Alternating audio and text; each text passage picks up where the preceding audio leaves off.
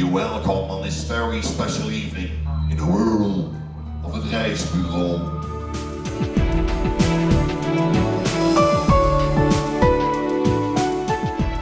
We wilden met deze verkiezing uh, duidelijk maken naar het Nederlands publiek hoe belangrijk de rol is van een reisbureau, van een winkel om de hoek vaak, want er zijn wel 15, 1600 reisbureaus in Nederland. Goed en gedegen advies, dat is in, het kort uh, de meerwaarde van een, van een reisagent. Kijk, als je tegenwoordig op vakantie wil en je wil een eenvoudige stedentrip maken, dan gaan mensen sneller naar het internet. Maar wat je wel ziet is dat bij gecompliceerde reizen, bij maatwerkreizen en je wil een keer de reis van je leven maken, ja, dan ga je naar een reisagent omdat je dan goed geholpen wordt en goed advies krijgt.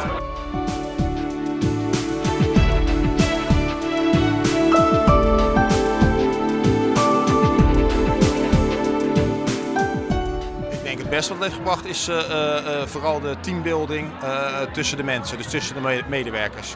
Dus je ziet zeker tijdens zo'n verkiezing, maar helemaal als je gewonnen hebt, ja, dat het team nog veel hechter wordt dan dat het daarvoor was. Gaat u vanavond de titel winnen? Ja, dat hopen we wel. Ja, natuurlijk, daar gaan we voor. Ja. En waarom? Ja, daarom doen we mee. Ik bedoel, we zijn nu zo ver gekomen, dus nu willen we ook heel graag, heel graag de titel. Dit jaar, wordt u het weer? Uh, ik durf het niet te zeggen. Ik heb echt geen flauw idee. Ze laten helemaal niks los. Uh, ik durf het echt niet te zeggen.